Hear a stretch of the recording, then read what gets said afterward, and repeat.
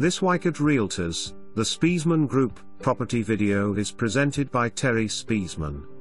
This home is upgraded to the max. Almost totally rebuilt in 2012, this 3-bedroom 2-bath house has everything.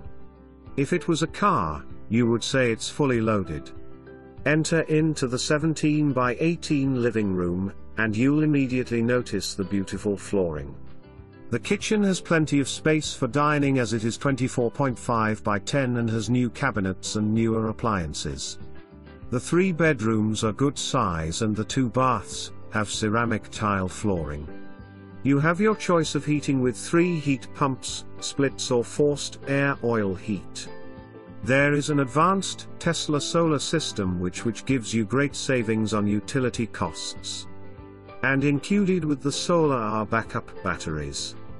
In addition to all of this is a one-year-old generator which will run the forced air heating if necessary. The home is fully insulated with foam insulation. Brand new patio, and good size backyard.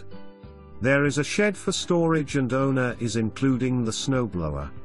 For more information, review the details below or contact Terry Spiesman at 845 336 2633.